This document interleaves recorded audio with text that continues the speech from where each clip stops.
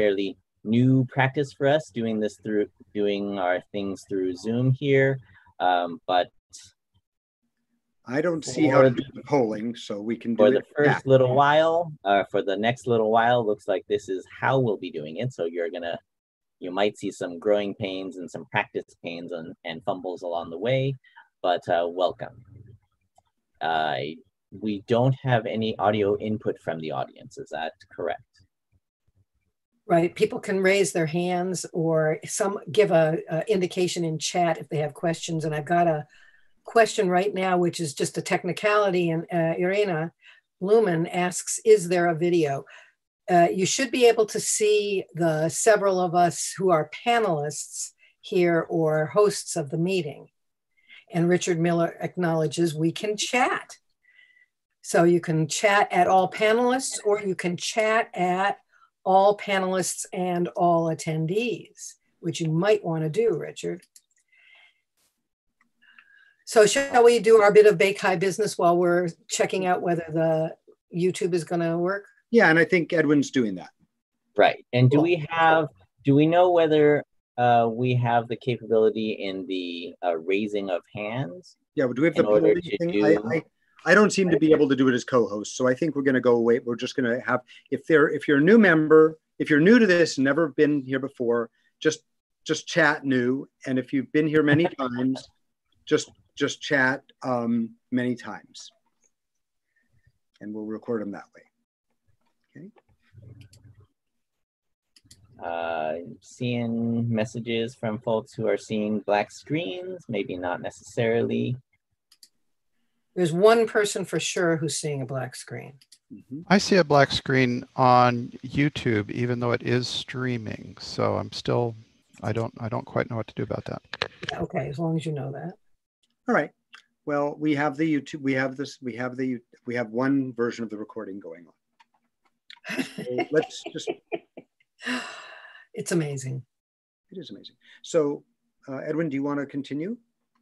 Uh, sure. So we're, I was looking at um, So just Nancy, if we, if we are can we? count, What are we doing tonight? You know.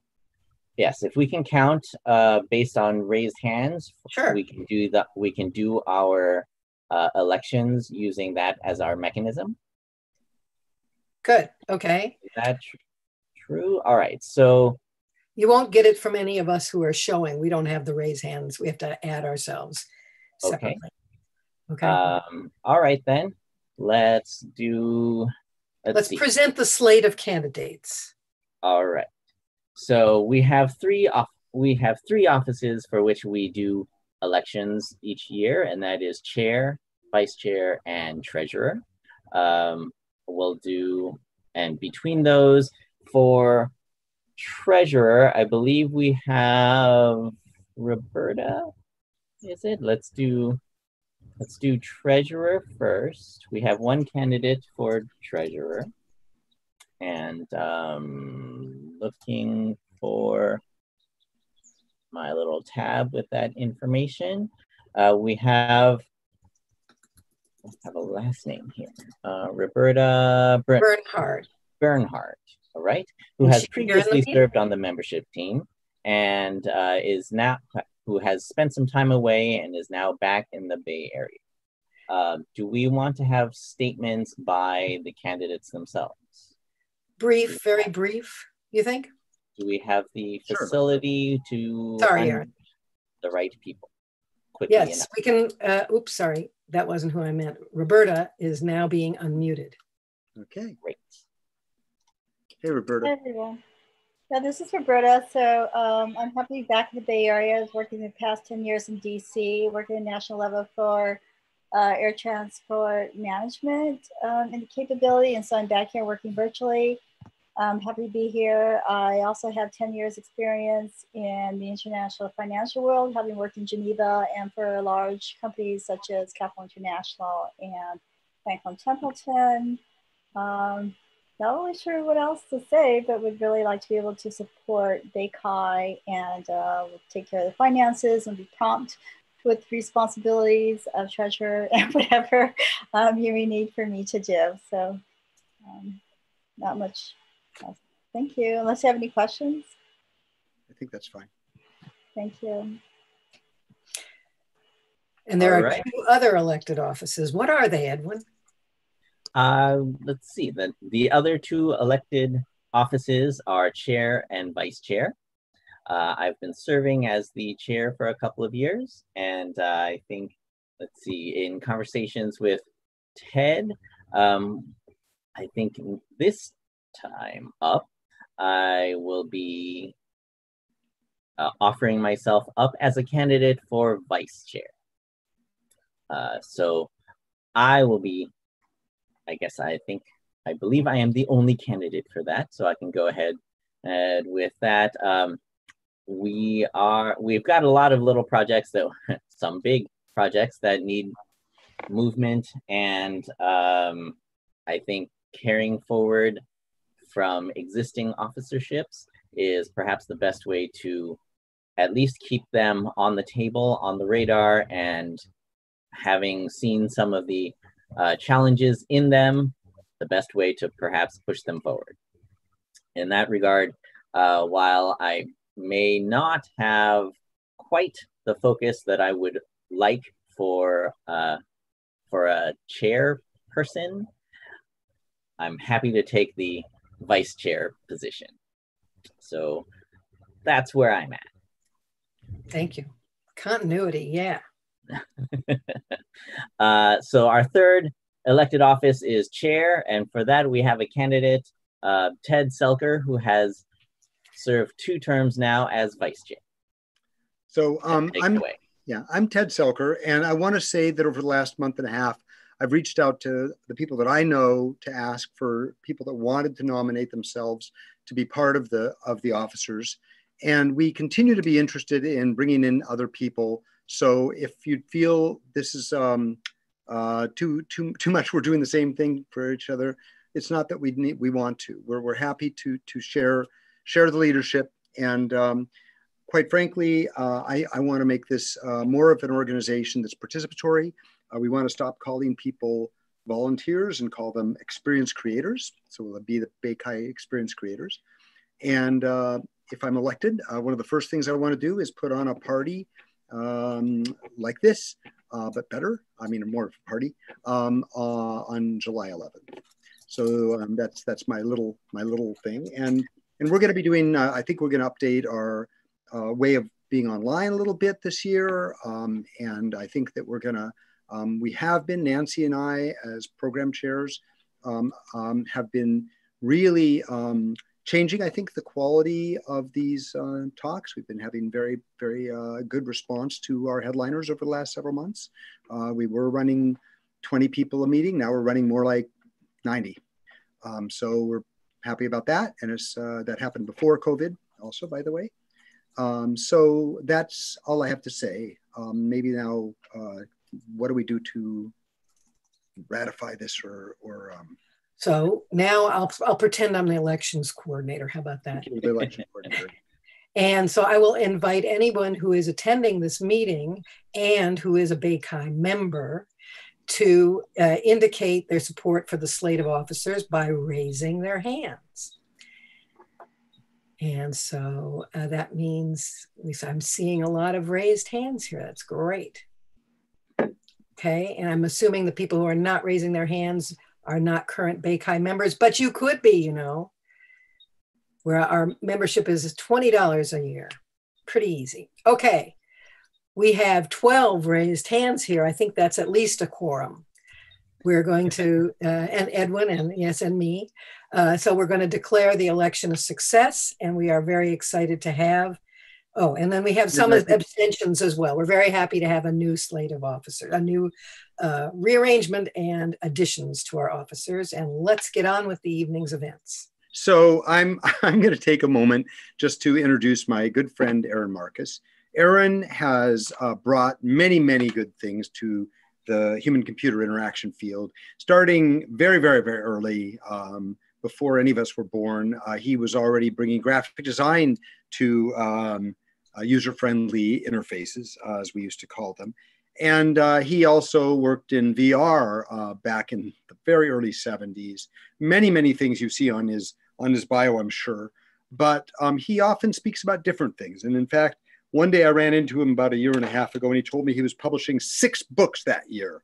So who knows uh, if we can read all his books um, in in our lifetime? But anyway, um, I think um, it's very exciting to have Aaron talking tonight uh, about the uh, way that um, science fiction looks at and has looked at and maybe will look at uh, human computer interaction. So thank you very much, Aaron, for being here.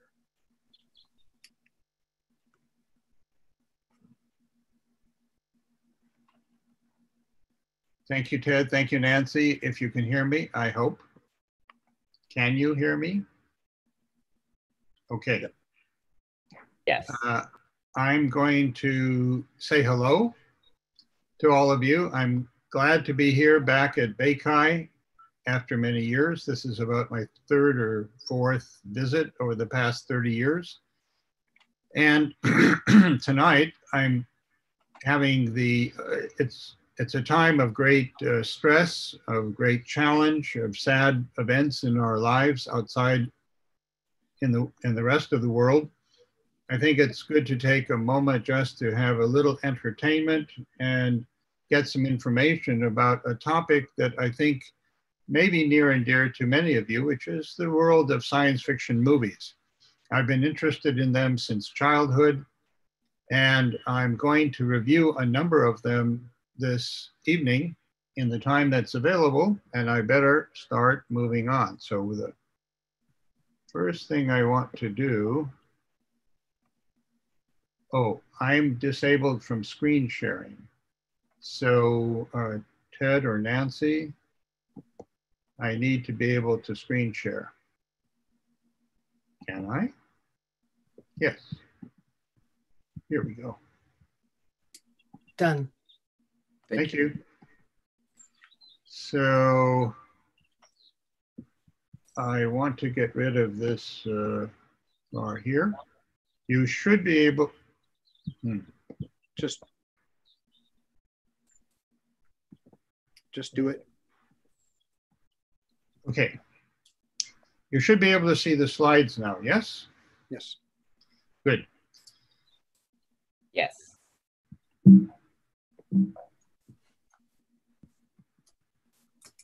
Oops.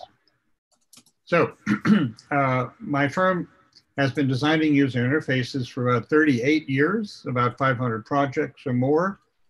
Uh, Ted mentioned 37 books and 300 articles. The latest is Cuteness Engineering, which just won a Kansei Engineering Award, I believe, for a publication in Japan.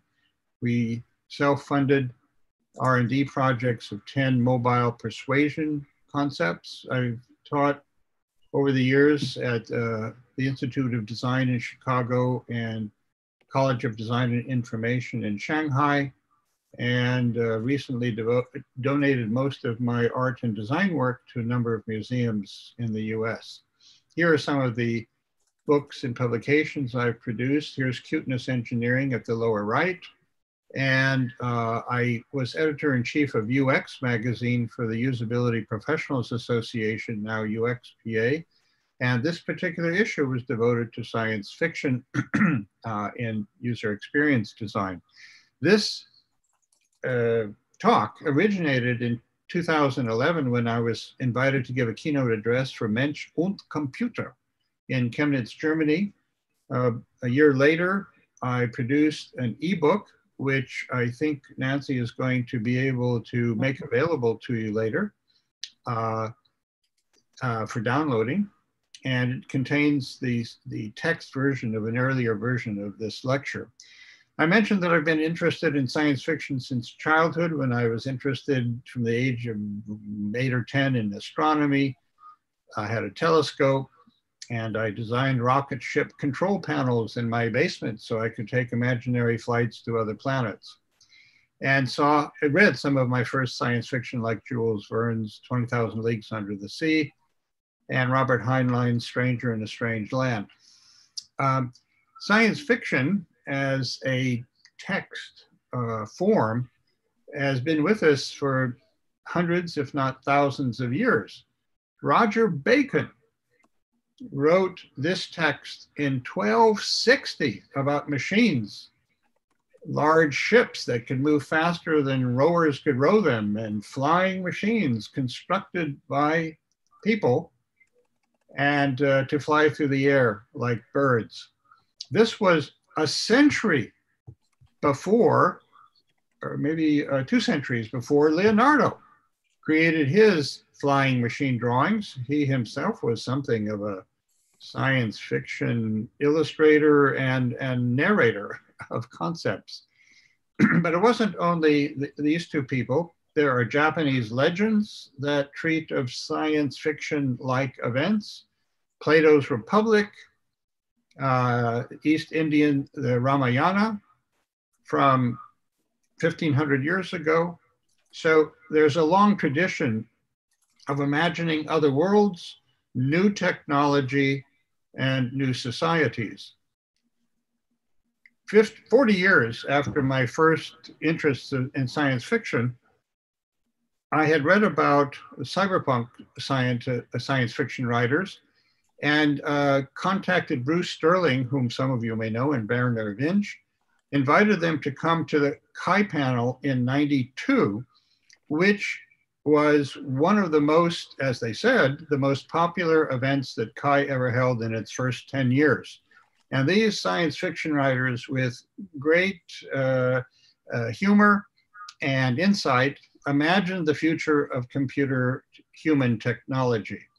Uh, it was so popular that seven years later, the CHI uh, organization asked me to restage it for a second time in 1999, and I did so again with Bruce and Vernor and some other speakers.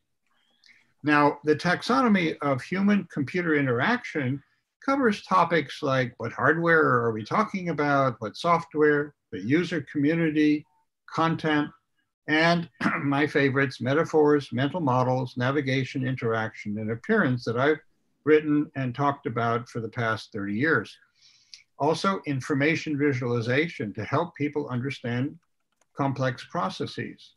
At the same time, science fiction writers created particular genres, story narratives, their views of technology, whether it was good or bad, utopian or dystopian, and views of society, uh, a view about time, culture, also hardware, software, and media. If interlaced the HCI taxonomy with the taxonomy of science fiction, you can imagine that there's quite a lot to think about and study science fiction as a window or lens to look at other worlds, other dimensions, other people, but also as a mirror to look at ourselves and how we understand our role in society, how society can be formed, should be formed, will be formed. So throughout all the examples I show you, you can think about cultural diversity, about assumptions about users and technology, about user-centered design, uh, as Ben Shneiderman has just talked about, user-centered AI design. Um, and the tools that are created inside and outside of our bodies that expand our physical and mental abilities. You can think about what seems futuristic, what seems retro. Are there masculine and feminine issues that emerge? Are people versus machines a friendly relation, cooperative, collaborative, or inimical? What cultural issues emerge? Again, as I asked before, and especially dear to me, information visualization issues. Now let's start our quick history. Here is one of the first science fiction movies ever created. and these emerged in the late 19th century, actually, in Paris the Méliès brothers created some of the first movies, and in particular, A Trip to the Moon, which I just illustrated, showing a projectile that lands on the moon. He also did 20,000 Leagues Under the Sea, as I list here. Those color films were colored by female factory workers who hand tinted every one of the frames. Some 10 or 20 years later, you have Fritz Lang's classic Metropolis in 1927, the most expensive silent film ever made. equivalent to about $200 million in today's dollars. It was a story of creating robots for the first time. Uh, here's one at the top right, and it's a female robot uh, that would replace workers. And there is struggle and strife between the workers versus the bosses. Uh, some of the equipment shown is very traditional process control equipment of the time in the 1920s. And the boss sits at an executive desk, rather clear of debris, uh, with a giant telephone switchboard by which he can communicate to whomever he wishes. Uh, quite startling is the fact that the film shows a video screen, people talking uh, through something like television sets, although television sets did not emerge into the world for 20 years. So you're looking at the depiction of a technology far in advance of what existed at the time. One of the reasons that I'm interested so much in science fiction movies is that movies have to show something in the background besides the actors. You're not looking at just a green screen. You have to show sets. You have to show rockets, robots, ray guns, scenes on other worlds, etc. So someone has to invent those. Here, a decade later is 1936, another video phone on the wall from Flash Gordon, a series that you may know on the left. And that screen that's shown there is not too different from what appeared um, many decades later in uh, Stanley Kubrick's 2001 movie from 1968. Flash Gordon, as a series, uh, was restarted in 1980 in color this time, but uh, didn't have much to show in terms of HCI. In the 1940s, Superman saves Lois Lane in, in one of these animations it appears. and the, the reason it caught my attention is that it shows a flying robot with Lois hanging on for dear life. And this is in effect a drone uh, depicted in 1941. This specific movie attracted the attention of the creator of Sky Captain in the World of Tomorrow from 2004 with Gwyneth Paltrow and uh, Jude Law, and had more modern looking robots. One of the distinguishing features about that particular film was, by the way, that it was the, one of the first ever films created on a desktop computer. Um, so here you have, again, technology and vision decades before it exists. Some of you might know the day the Earth stood still from 1951. It was recreated uh, some five or 10 years ago, I think, five years ago maybe, with Keanu Reeves. But this is the original version in black and white.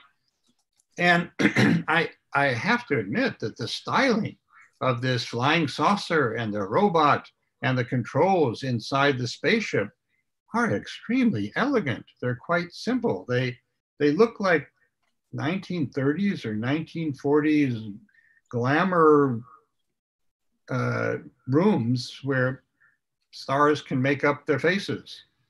It's very simple. And the controls are rather elegant for, for the time, quite in distinction to what we see in earlier and later films. Here's an example of Forbidden Planet, one of the first science fiction movies I remember. And uh, this starred Robby the Robot here at the lower right, one of the first times that a robot appeared with a great deal of personality. Uh, he could even brew beer inside of his internal kitchen combustion unit. And uh, these, the explorers on this other planet face some dangers from uh, the advanced technology that resides deep within the planet. Um, by the way, notice these uniforms. I don't have time to show you another film called Queen of Outer Space, starring Zsa Zsa Gabor. The spacemen in that movie use these very same costumes, even though the film was made two years later by another company. Why is that? Well, the other company didn't have a budget for space outfit co costumes, so they asked the previous film if they could borrow the costumes from the earlier film. And amazingly, they agreed. Here is an unusual science fiction movie from 59, a Soviet trip to Mars, The Sky is Calling. The US sends also a crew to Mars and the US crew gets into trouble. A lot of the technology depicted is not very advanced, uh, e even at that time. A lot of their devices looked like advanced mimeograph machines. But um, what's remarkable is the cooperation between Russia and the United States to save the US lives. And the Russians come back to the Soviet Union and are featured as heroes. There's a lot of, you know, propaganda value to that event. Here's a 1968 movie, uh, Voyage to the Planet of Prehistoric Women. And um, the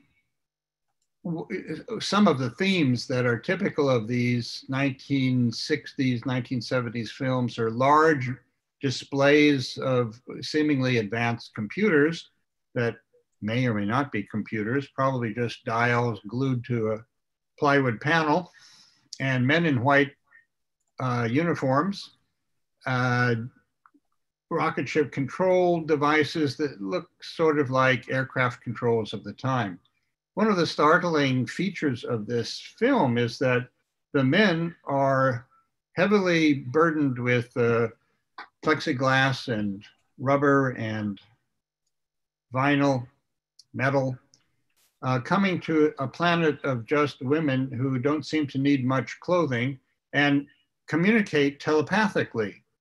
This distinction between heavily armored men and sort of defenseless women who communicate telepathically is a theme which we'll see in a number of science fiction movies, most notably in Avatar, which we'll come to later. George Lucas introduced the Star Wars series in 77.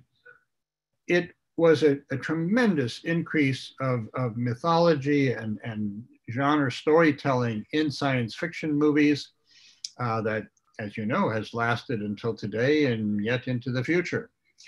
But I have to admit, uh, there's not that much HCI invention. What he did invent was dirty rocket ships and dirty robots. They were rusty. Everything wasn't immaculate and clean as it was in The Day the Earth Stood Still and many of the other science fiction movies of the 50s and 60s. He did introduce uh, lightsabers, sort of taking us back to medieval jousting and sword fighting.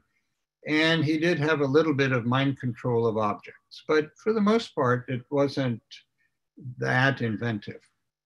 The Terminator series, beginning in 84, starring Arnold Schwarzenegger, did have a, a, fair amount of inventive HCI. strangely, it, it took some time, effort to show what the Terminator saw uh, regarding possible targets and data and metadata about uh, these creatures and the environment, which is kind of strange.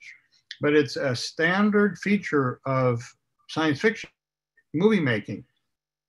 You have to show something to the audience so that they understand what's going on. The Terminator himself would be getting, I suppose, data feeds directly into its brain and wouldn't need displays like this, but we in the audience really appreciate them. Star Trek, introduced in 66, continuing in films from 79, introduced many, many innovations. For one thing, the crew itself was multi-gendered, multi-racial, and multi-species. That was a significant innovation of the time. They also introduced many devices with blinking lights and small information displays that were somewhat believable as medical devices and exploratory devices for looking at life on other planets. One of their more popular devices was the Star Trek communicator that they used to talk amongst themselves and to, to the ship, mother ships. In fact, this was so well known and so well liked that another movie called Galaxy Quest, which was kind of a spoof on Star Trek, made the their version of the Star Trek communicator one of the uh, featured uh, almost kind of uh, characters of the movie as it gets passed back and forth between alien beings and human beings. Star Trek reintroduced itself in 2013, Star Trek Into Darkness. When I first saw the movie and saw these displays, I thought, oh, this is so exciting. We'll get to see details of these medical images and whatever they're looking at to try to determine if someone is okay. No such luck. But they, they, they didn't have many close-ups of the displays. They did have a close-up of this woman without much clothing on. I can't remember why she had to take her clothing off, but there she was. Um, they did have transparent displays, which meant that all the information was backwards, as we look at it and see it, as if that would be extremely important in the future of displays. I don't think it necessarily is, but uh, Hollywood and other movie makers thought so. In 1968, uh, Arthur C. Clarke, working with Stanley Kubrick, brought out 2001, which was a watershed movie introducing uh, uh, the fact that, that space has no sound. So a lot of it was just heavy breathing. Um, they did have some anomalies, some mistakes, some misguesses. They didn't know about mobile phones and still had console phones to make phone calls, which was a little bit silly. Uh, and the movie introduced the first HCI joke, a joke about human computer interaction. Here's one of the people on a space station, I believe, who needs to go to the bathroom and has to read through this list of uh, 12 or more instructions for how to use the toilet, which by then will be too late. Um, here's a, a, meeting with no mobile phones uh, and no paper. Some of the displays were not so advanced looking. The information visualization was rather mundane in many cases.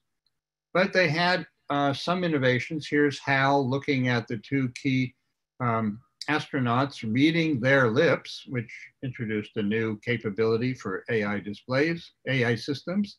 And here's an interactive uh, table with either a flat iPad kind of device or else uh, just a, a display uh, capability on the table to show news and, and imagery of friends, etc. Some of the navigation imagery is quite mundane. It's not very creative. And in fact, some of the technical display imagery, it really harks back to CAD CAM computer aided design and manufacturing displays from decades earlier. Tron in 1980. Yes. Aaron, are you willing to take a question? Uh, or would you rather hold it? Well, we started a little bit later than, than I thought we would. I'll take one question. Yes. What is the question? Okay. Uh, well, Suyash, do you want to ask the question yourself? Make a brief one, okay? Combined. Now you're allowed to talk. Now you can unmute. Hey, Aaron, great talk. Um, my question is Can UX design ever be classic or timeless, or it does it always need to be updated. And this is also ties to like designers chasing trends and you know new design patterns.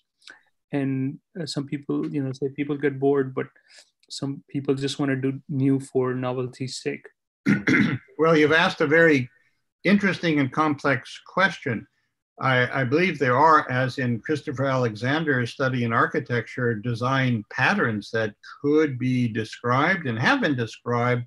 Uh, James Land, Landay uh, in the 90s created uh, a very big book of website design patterns and uh, like the shopping cart, et cetera, et cetera, that persist uh, no matter what the technology is, is showing in, in detail. but those patterns are not the design itself. It has to be realized in particularities. Those may change from time to time as we've had changes of style in clothing, in architecture, in music, in painting, in sculpture, in almost every aspect, in every culture uh, of what is uh, interesting form or the most current form. And there is a, a portion of, of, of our people, our human people, that like the latest and newest and greatest and most creative and inventive, even if sometimes it may not be as useful in the traditional sense. Uh, so uh, you've asked a complex question. I can only give you uh, little pointers or uh, bits of, a, of an answer that some things are somewhat timeless, but there will definitely be uh, uh, uh, interest in forms which will continually change. In fact, I recall visiting an industrial design exhibit in London uh, in about the year 2000, where uh, industrial design students were trying to imagine devices of the far future.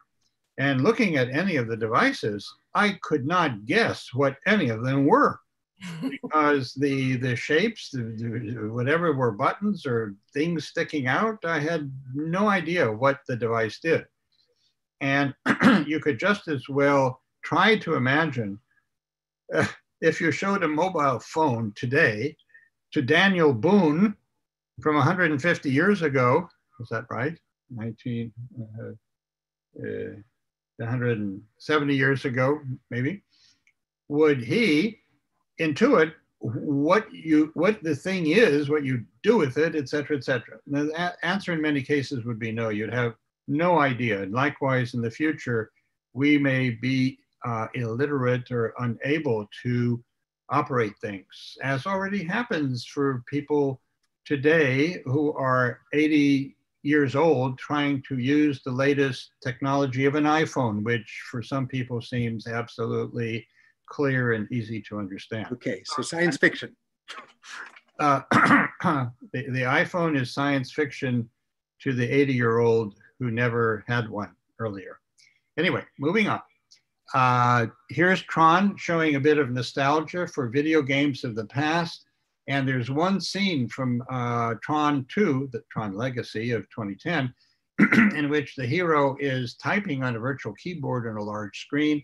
And there is Unix programming going on in the background, which is charming and interesting. But really, that's about the, the extent of uh, significant HCI in the, in the movies. Uh, there's a lightsaber. Again, in a little round thing that contains all the data that people need to know. Most of the movie is motorcycle racing and action and dancing. One of my favorite movies is Brazil. I don't know if you know this from 1985. Terry Gilliam, who has made many, many riotous comedies, also created uh, this dystopian image of the future with devices that are overly complicated and inhumane in a government bureaucratic controlled 1984-ish uh, dystopia. And look at all the wires and things to plug into your phone. Uh, here's the hero. He eventually goes crazy and it ends badly. He's in love with this lady at the lower left. And it's a wonderful, whimsical romance, but told in a very dark and miserable story. Um, here's Total Recall, which was quite creative. Uh, it was a uh, Philip K. Dick uh, short story that was turned into a movie. It had lots of consumerish, uh, everyday HCI uh, and, and CGI depictions. Here's a scene of an artificial window. If you don't like that view of the lake, you can switch it to something else gigantic x-ray machines. Here's a uh, the pseudo wife of the hero playing um, virtual tennis with a coach maybe. Uh, and here's Arnold uh, putting on some kind of 3D uh, fleshy mask around his face.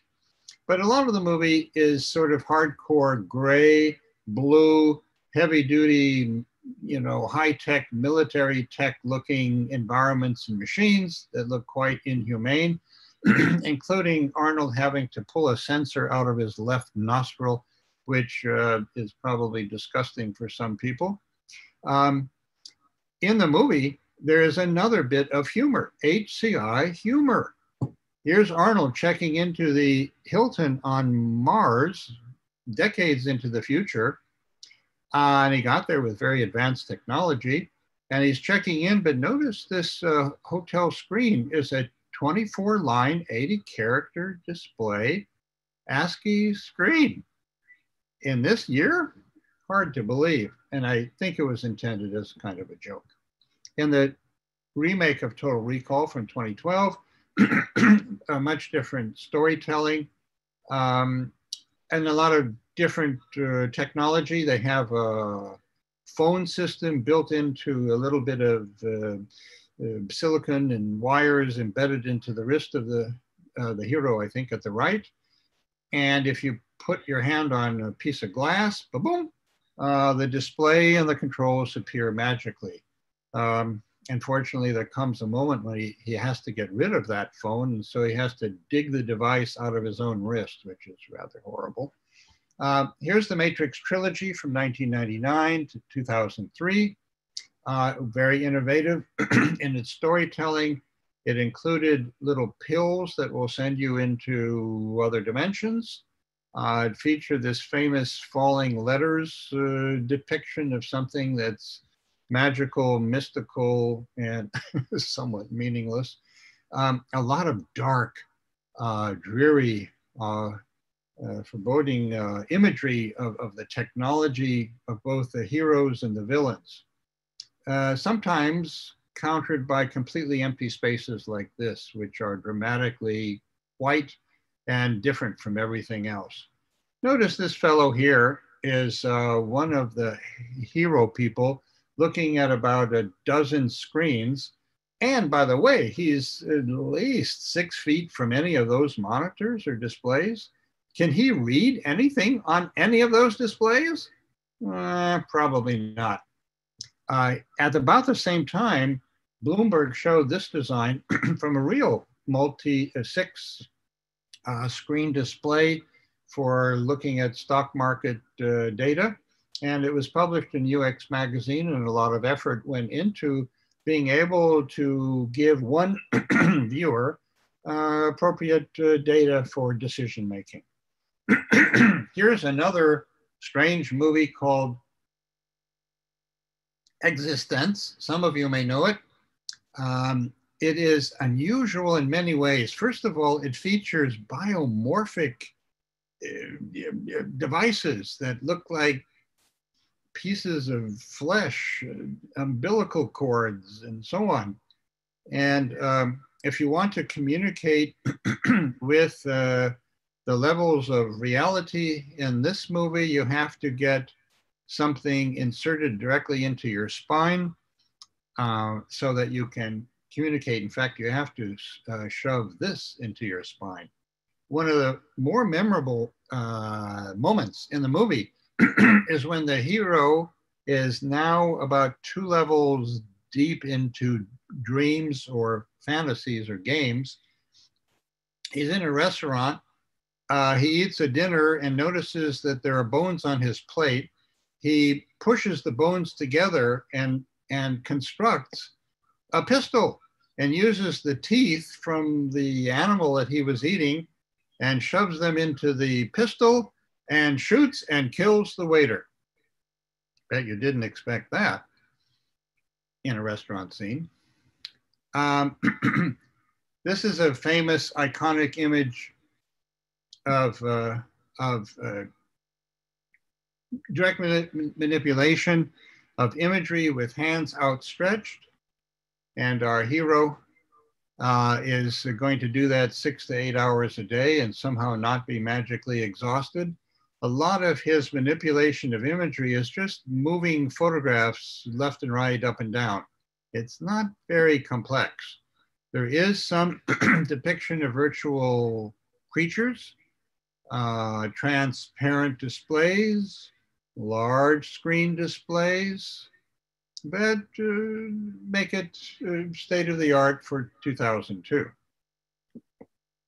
In fact, Samsung showed transparent windows in CES of 2012 in which you could look through into the next room or make it completely information displays for yourself or make it show a Venetian blind and change the blinds to close them.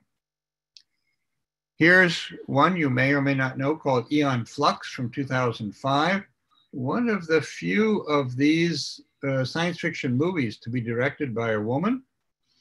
Uh, it shows some innovations like maps or guides that appear on your own forearm when the skin is suddenly forced to raise itself a little bit into sort of a braille-like depiction of how to guide yourself through the corridors. Uh, here, uh, a man transfers a pill to the mouth of the heroine uh, to take her into another dimensional world of fantasy where she can meet the other people in her group who are trying to revolt against the people controlling the world. she has had one of her eyes replaced by a camera. She sends little sensors by throwing them out onto the floor. they roll around and gather information.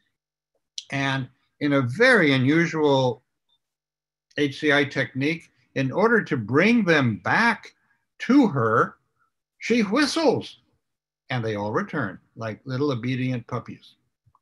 Here's ultraviolet a year later that shows the year 2078. That's not too far from where we are now uh, including such things as throwaway paper phones that you buy at a little vending stand. One of the moments in the display in the movie is a full screen image of this information visualization as a guide to what's in the building. And it's, it's simply unusual and, and, and glorious in a way uh, for showing so much detail and, and thinking that goes into some information display like this. Notice that the writing uh, is perhaps unreadable. Maybe that's a two and a three. I don't know what that is. and that's because by that time in 2078, uh, the, what left of the world has changed its writing system to be so different that we can't read it anymore. Here's a funny movie, a funny science fiction movie. The entire thing is a comedy. called Idiocracy by Mike Judge, whom you may know from other television and film comedies. And this stage, and 500 years from now, a hero who has been put into some kind of a, a magic coffin for the military accidentally is forgotten for 500 years and wakes up and discovers, even though he was very average, he's now the smartest man on earth because everyone else has become dumber, dumber, and dumber. No one can read anymore. People in a medical facility have to look at little pictograms to try to understand what might be wrong with someone. Fox News shows semi nude or completely nude television. News presenters. Here's the entertainment uh, exposed to this typical consumer.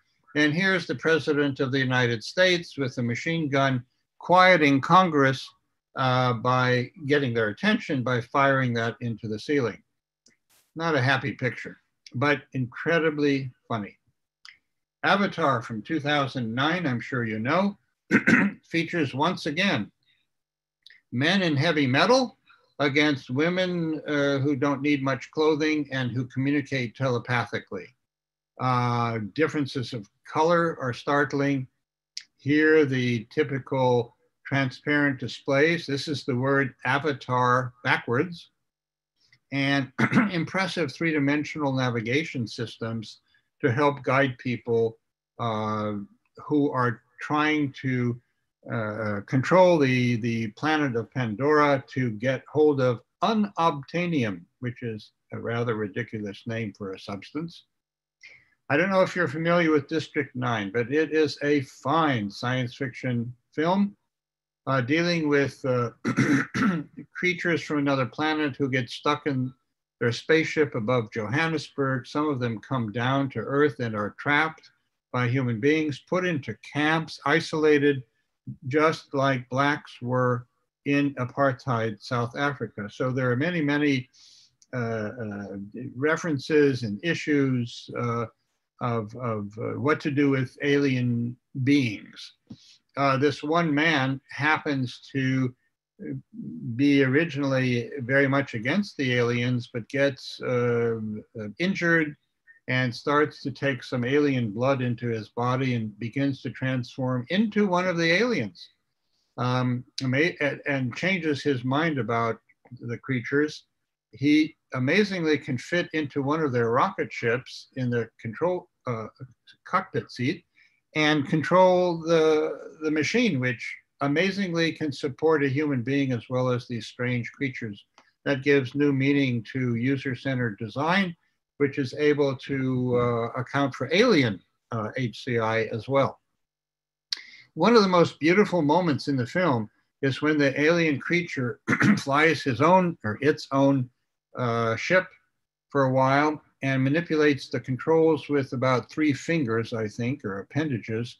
The dance of the, the movement of that creature is so powerful, so beautiful. A little moment of ballet of, of fingers flying around screens. It puts Tom Cruise's waving of hands in Minority Report to shame. Um, and some people have asked, why don't I show movie clips from all these? We'd never have time. Also, the movie studios might be even more upset uh, at my uh, taking movie clips. And, and you have to remember that the HCI uh, uh, focused moments in these films are generally two or three minutes out of 120 minutes or 150 minutes.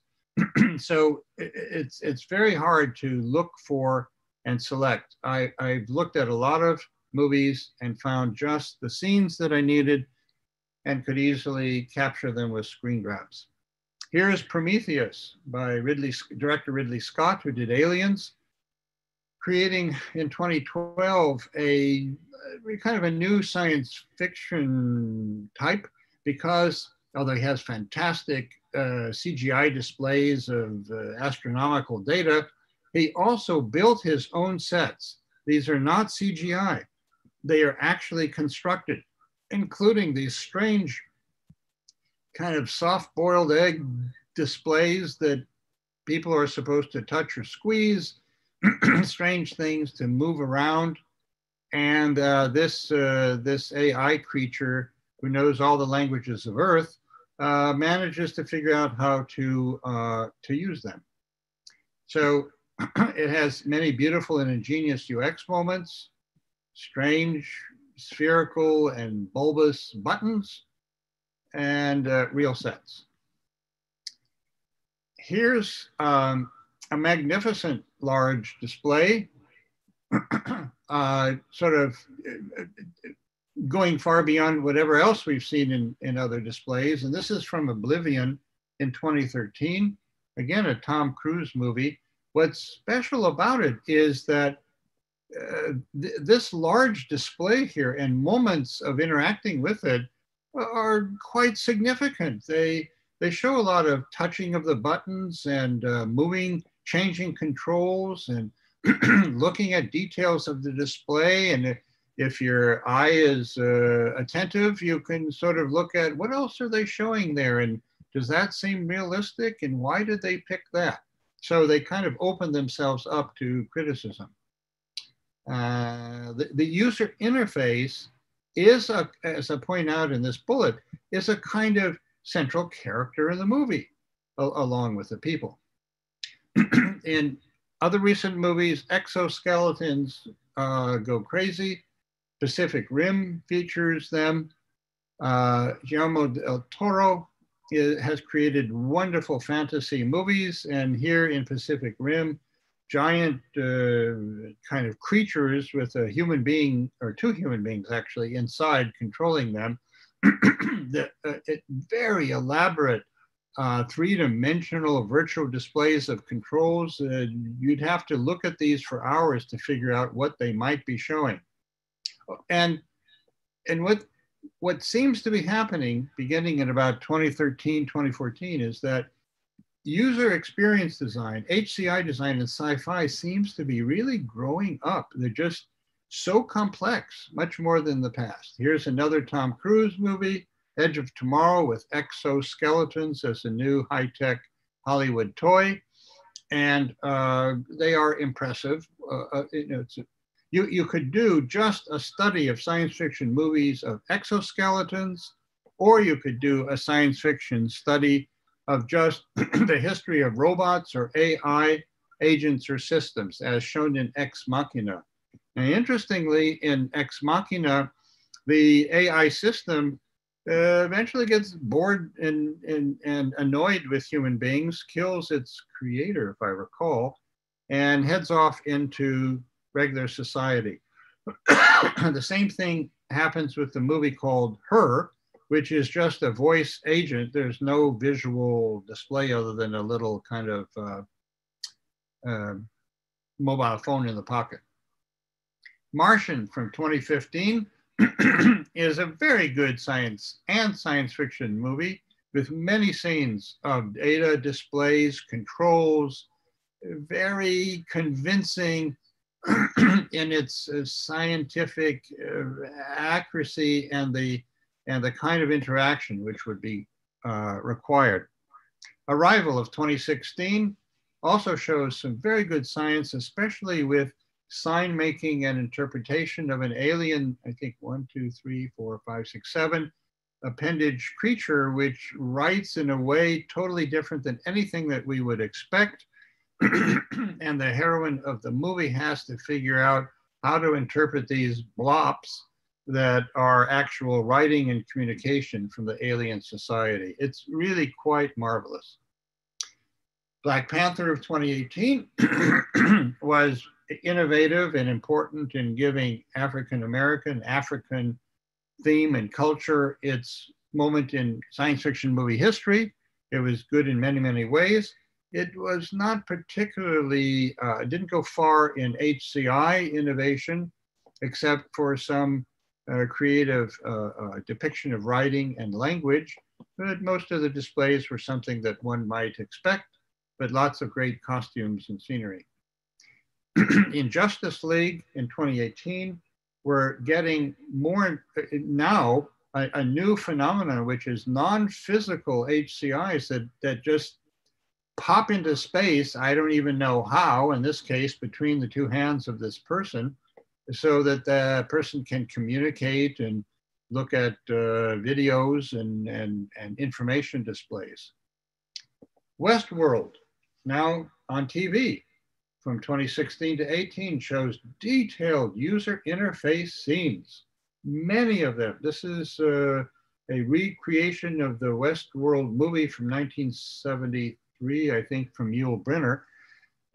but that movie never had what this shows incredibly detailed moments. If you could stop the movie, you could look over here and, and read the text of all the AI cognitive engineering and other controls that are adjusting the behavior of robots, the dialogues, the interactions with human beings, etc.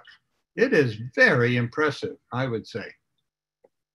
Also on HBO is Electric Dreams, uh, 10 uh, Philip K. Dick short stories that are turned into uh, each of them about an hour, I think. And they show many innovative uh, moments of HCI depiction, including, again, elaborate, uh, I don't know what to call them, virtual pop-ups out of uh, a wristband display where people can see other people see data interact and change the course of human history by how they interact by touching or adjusting this virtual display. Here's another one, a stick that suddenly has a pop out uh, display surface. Again, I have no idea how this could be realized. On the other hand, here's a uh, depiction of a uh, sort of a, a, scan or a slit of of light that, that falls down onto a desk. And the person here can see a display and read all kinds of information and interact with a computer system. Well, in fact, uh, I believe it was Ericsson or Siemens uh, 20, 15, 20 years ago who had systems like this that could create uh, imagery on desks. I think it's been forgotten for a long time, but was found and, and developed further. Another series on Netflix is Altered Carbon, again, with many detailed UI uh, uh, uh, scenes. And the movies are taking the time, or, or the, the video creators are taking the time to work out likely contents for all of the controls and options uh, and data that would be depicted. They do have some other tip, more typical rectangular uh, uh work screens, let's say, and here again, is some kind of pop-up uh, technology depiction, uh, something if someone wants to see some detailed blueprints. So my guess is that some researchers may see this kind of imagery and figure out how could we actually do something like that. Avenue 5 uh, from uh, this year shows vast uh, UI and control room depictions, uh, transparent uh, panels, but also uh, these kind of devices and, and wraparound imagery on the wrist, which are something more like consumer oriented, not your rocket ship control panel kinds of imagery. Uh, robots and AI agents have been depicted for decades. and as I said again, this could be a study itself of what the movies have done with these uh, creatures. In 2018, Ready Player One showed virtual worlds, games, and kind of a very mature uh, HCI world in which people were popping up wraparound displays uh, in, in, all kinds of circumstances of a game-like uh, environment, and all of it was sort of taken for granted from the game world. In many ways, as I've said, HCI has gone from the classic world, the immature world, to the Baroque and Rococo world, and now is just part and parcel of many of these television displays. It's not a minor character in the background. These are uh, massively complex, seemingly meaningful, and important in the storytelling. now, it's not only Hollywood that has created visions of the future. Some of you may remember Apple's Knowledge Navigator from 1992. Uh, I have a scene of that in which a caricature of Steve Jobs was uh, answering questions and reporting back to you in ways that some people criticized because Apple was using this kind of imagery in its ads saying, oh, look at what we're doing. We're going to bring you the future. And, and, and natural language uh, researchers said, this is ridiculous. You won't be able to do this for 20 years. And guess what? It did take 20 years before we had Siri. um, the Department of Defense uh, made uh, scenarios that they showed uh, equipment that could be put around the head that would scan the eyes and feed imagery to the eyes and to the ears and could detect when a brain was overloaded and shift from one medium or one sense to another sense in order to give decision makers in war rooms better cognitive uh, uh, augmentation uh, for decision making industry has done some of its own science fiction fantasy making. Other cultures as well. I mentioned at the beginning. and one could look at cross cultural trends in science fiction movies and the approaches to technology. That would be another study for another time. Um, just to show you, here's uh, one of three screenfuls of a list of science fiction films since 1952 in India, which is, you know, it produces Indian, so-called classic Indian movies that I saw in the 1960s, 70s, and 80s, but also the Bollywood favorites of today. And in fact, there is a Bollywood uh, uh, uh, uh science fiction movie. Um, it's also the case, please notice that there are many languages in use in India. There are about 11 or so nas uh, national languages. So many of the films are produced in different languages. More recently, uh, I saw on United Airlines the movie 2.0, which was the most expensive Indian film made. It's a science fiction movie. It's a fantasy plot in which all the phones of the world fly away and are collected somewhere, and there are evil spirits, and somehow it ends happily uh, with Bollywood dancing and lots of singing. Here are some scenes from the movie. This is a robot who looks just like a human being, makes it easy to depict. There are the typical complex blue oriented displays of augmented reality over the scenes of the real world. And uh, what is perhaps unique in Indian science fiction movie making, some kinds of uh, evil uh, uh spiritual creatures which uh, endanger the world. And in the end, this hero and maybe a sidekick robot, I can't remember who she is, dance away through their victory over the evil forces and everything turns out fine. In China, uh, Jules Verne was imported during the late 19th and early 20th. Uh, Zheng Wenguang uh, is the father of Chinese sci-fi who wrote in the 50s. And Tong Enzheng wrote Death Ray on a Coral Island, which was China's first science fiction movie of 1980. So happens I have a few scenes from that movie. And you can see, this is 1980, uh, people in white uh, lab coats, uh, lots of big uh, numerical displays and things that look quite out of date. And here's an old style telephone. yeah, but there are some video screens and a few other uh, images of the future.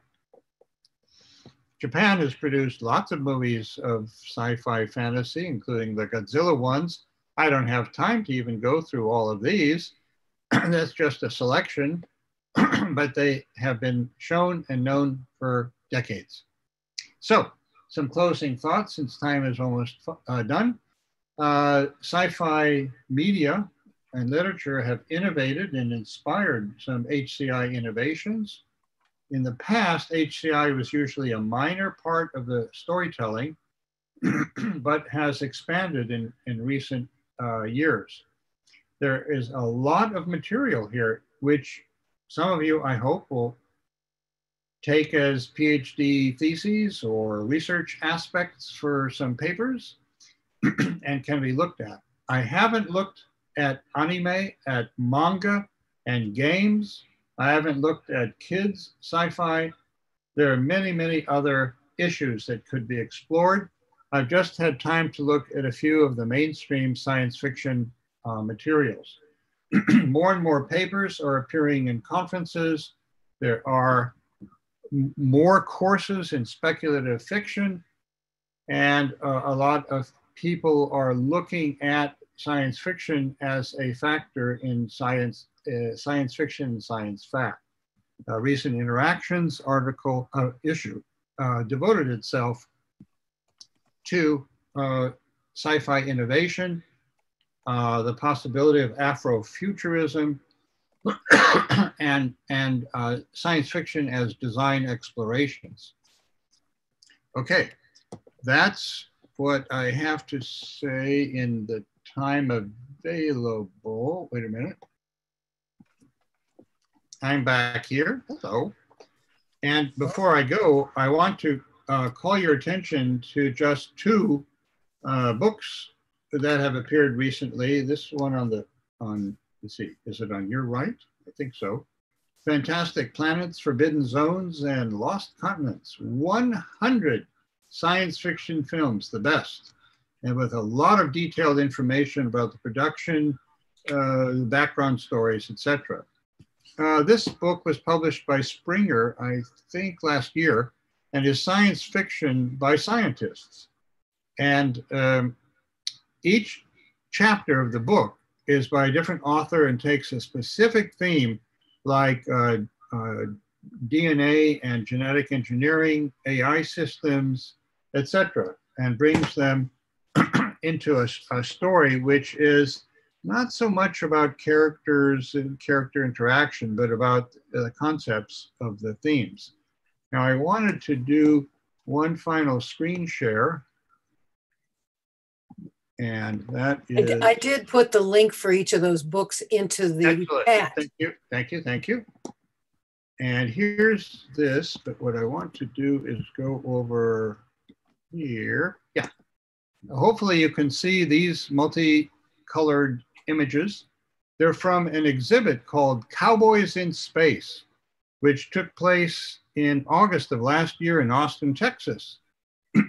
and uh, the exhibit was unlike anything I've really ever seen in an exhibit. It was all about science fiction uh, with some of our favorite characters going back decades and uh, some of the real equipment that was used in the movies and some comparisons between the movies themselves and the genre of cowboys and Western storytelling. And that itself, you know, so you can see here sort of a gunslinger, gunslinger, gunslinger outfits and and positions, and you realized, well, yeah, uh, Star uh, Star Wars uh, characters did engage in a kind of uh, bounty hunting and, and so on. And there is a quote here that George Lucas uh, said, if uh, if if I here it is, I was thinking mythologically, should Han Solo be a cowboy or should he be John Wayne? And I said, yeah, he should be John Wayne. So there's a fair amount of insight into comparing uh, all of what science fiction movies have produced for the past 40 years in Westerns.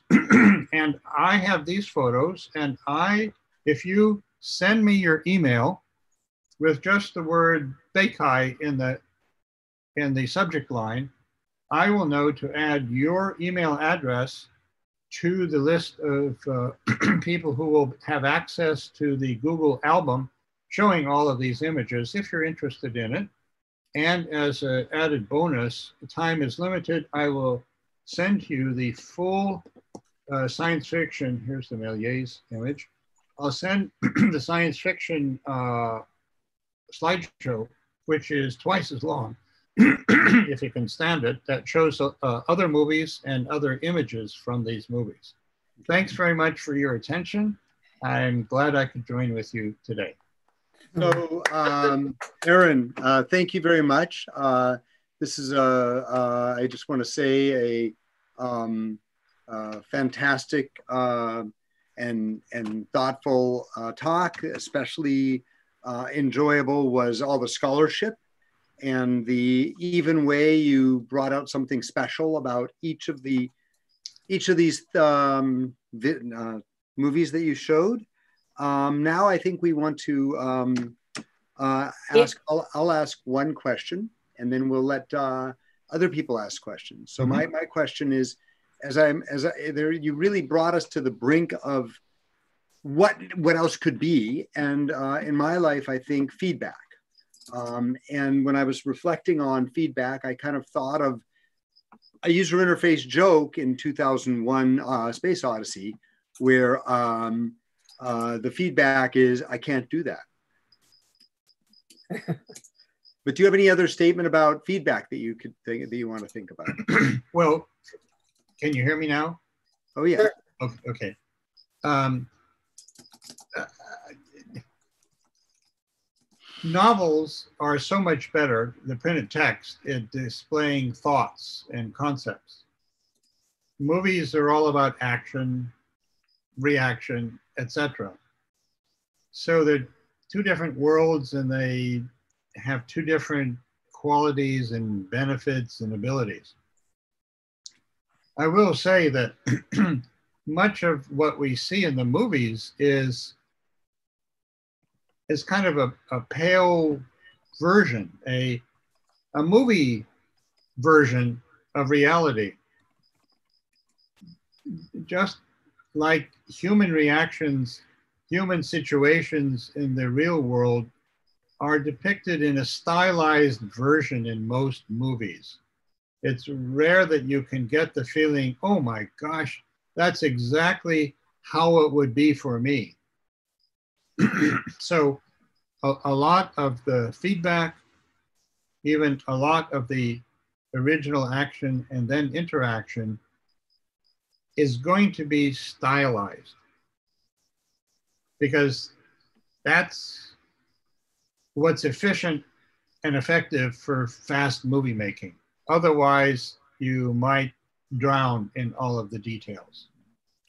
So, um, okay, good. Thank you. Nancy, do you have some more questions that have come over Yes. that um, you want to put forward, please? Sure. I'd like to share Dave Galby's uh, uh, question, and he's interested in what features of web UX do you think will still be in use in 100 years? 100, well, that's a good one.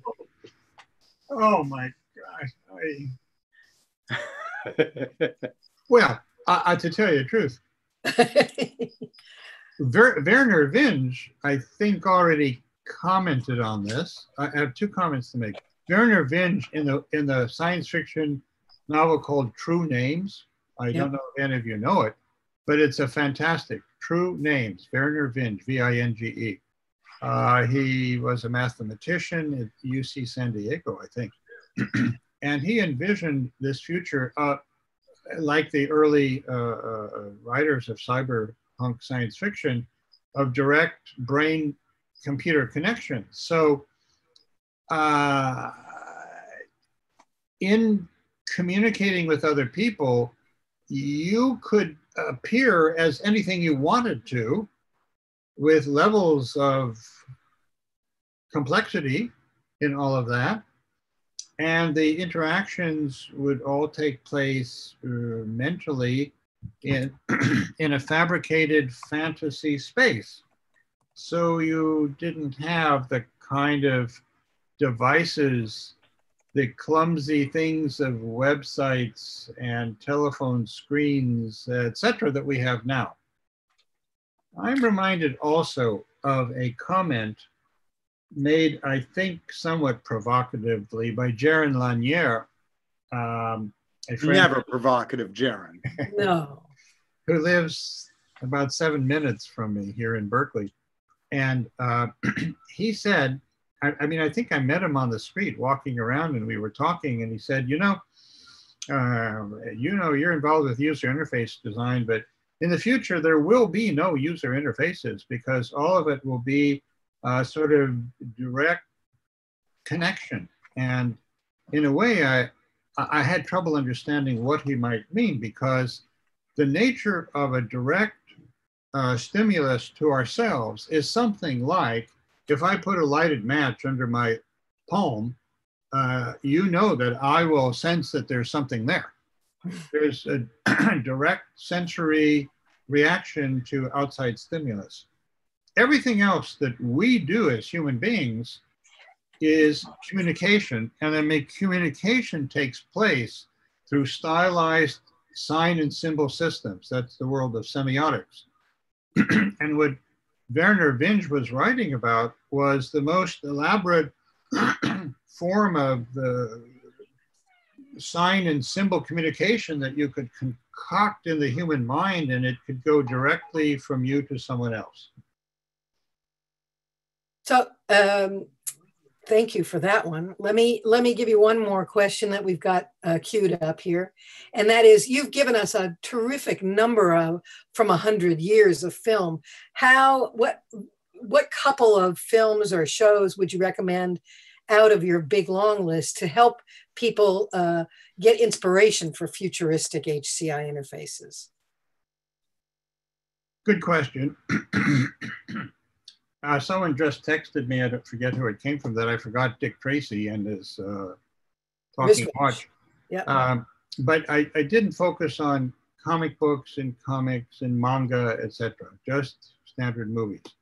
Um, as for the ones that might help to envision soon to be future. Uh,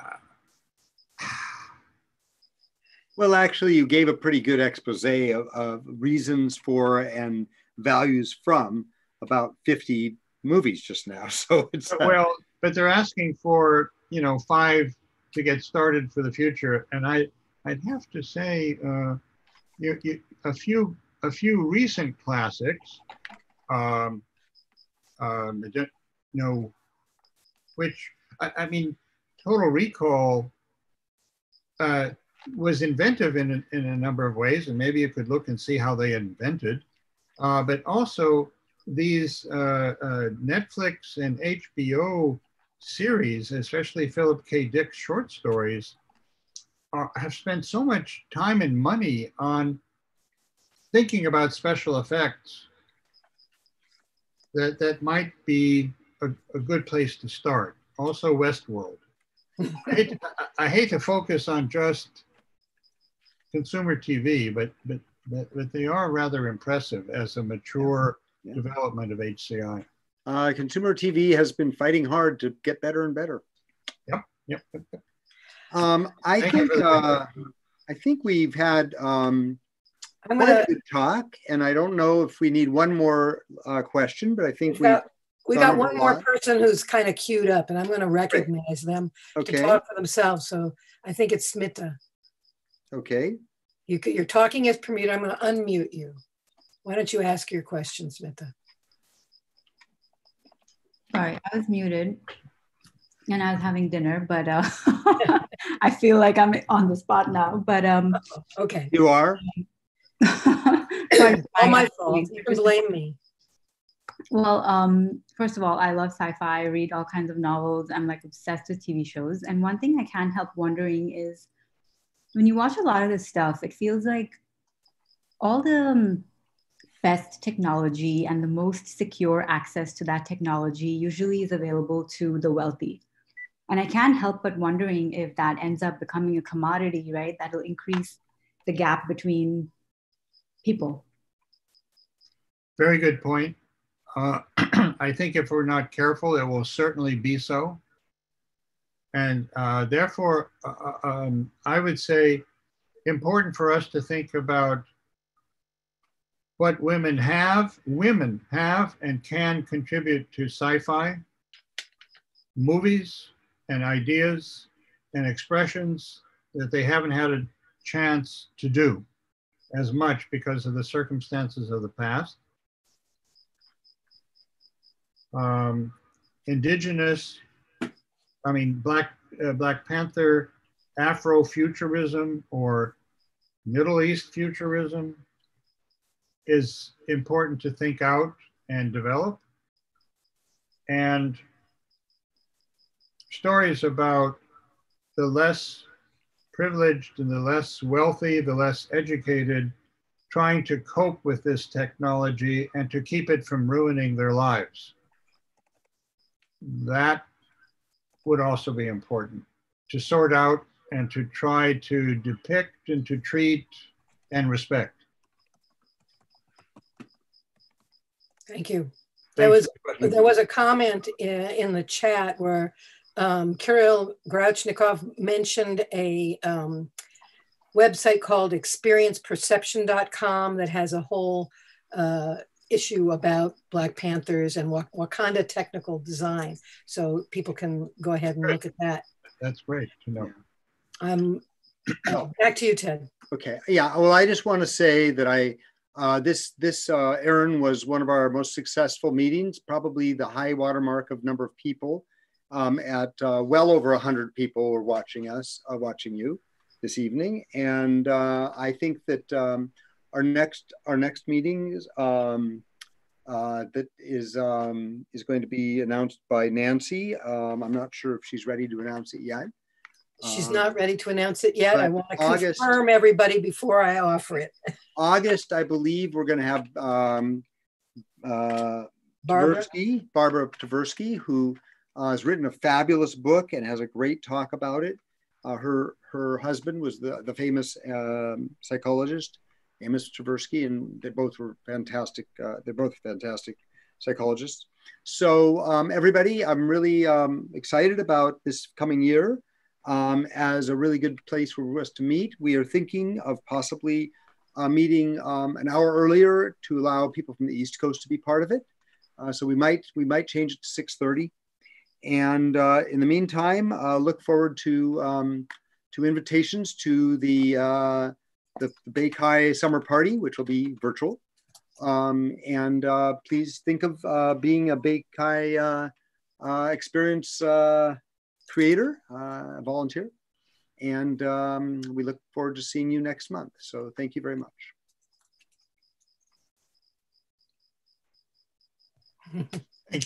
Thank you. Lots of thank yous and interesting comments. Thanks, uh, Greg and Jaime, for Yeah. mentioning that you could attend at a distance, whether Yeah. that distance is uh, San Francisco or Atlanta. So, and I noticed there was somebody else on from Detroit earlier. Thank you all for showing up. Okay, anybody want to have the last word? I want to say that I, I'm sorry I couldn't respond to chat messages. It was too complex and diverting for me. Uh, you, we probably shouldn't have exposed you to a, a very, very general, very important question in the, that was on on a, uh, UAI in general in the middle of your talk, but you you handled that, and uh, we appreciate it, and I think people appreciated that answer too. Thanks, everyone. So uh, with that, the formal meeting is adjourned, and I don't know if people want to continue chatting. I don't know. Uh, We um, could stop the recording and we could ask, invite people to uh, participate. Oh, I- I, I, I want to say at the end, don't forget to send me an email message just with BayCHI in the subject line if you want to get the uh, full slideshow and the exhibit. bye bye, everybody. Bye. And I, I put your address in the chat. Thank you. Okay.